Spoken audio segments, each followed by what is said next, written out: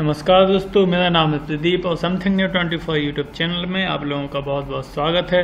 आज की इस वीडियो में हम देखने वाले हैं कि आप कैसे बिना फोटोशॉप की सहायता से एम एस पेंट के द्वारा किसी भी फ़ोटो को अपनी मनचाही साइज़ में काट सकते हैं। कोई फॉर्म किसी फॉर्म में आपको अपनी फ़ोटो अपलोड करना है तो आप कैसे बिना ही फ़ोटोशॉप के आप अपनी फ़ोटो को क्रॉप कर सकते हैं। तो चलिए दोस्तों, देखते हैं कि एम एस पेंट द्वारा आप अपनी फ़ोटो को कैसे क्रॉप करेंगे।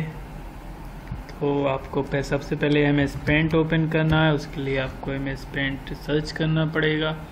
ये दोस्तों एम एस पेंट ओपन हो चुका है। आप जिस भी फ़ोटो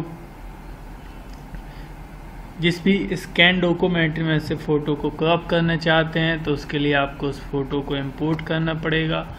तो भाई, मैंने एक स्कैन डॉक्यूमेंट रखा हुआ है, ये रहा स्कैन ये दोस्तों, ये आ गया मेरा स्कैन डॉक्यूमेंट इस डोको इस पूरे पेज में से मुझे सिर्फ़ फ़ोटो को ही क्रॉप करना है। तो कैसे करेंगे आप? उसके लिए आपको जाना पड़ेगा सिलेक्शन टूल पे। सिलेक्शन टूल पे आपको सिलेक्ट करना है रेक्टेंगल सिलेक्शन ठीक है ना? उसके बाद आपको उस एरिया को सिलेक्ट कर लेना है जिसको आप क्रॉप करना चाहते हैं। उसके बाद आपको सिंपली क्रॉप पे क्लिक कर देना तो दोस्तों, आप देख सकते हैं कि आपकी फ़ोटो जो है वो क्रॉप हो चुकी है। अभी जो फ़ोटो है वो थोड़ा टेढ़ी है तो इसको सीधा कर देते हैं, खड़ा कर देते हैं। इसके लिए आपको सिंपली रोटेट पे क्लिक करना है एंड 90 डिग्री रोटेट कर देना है।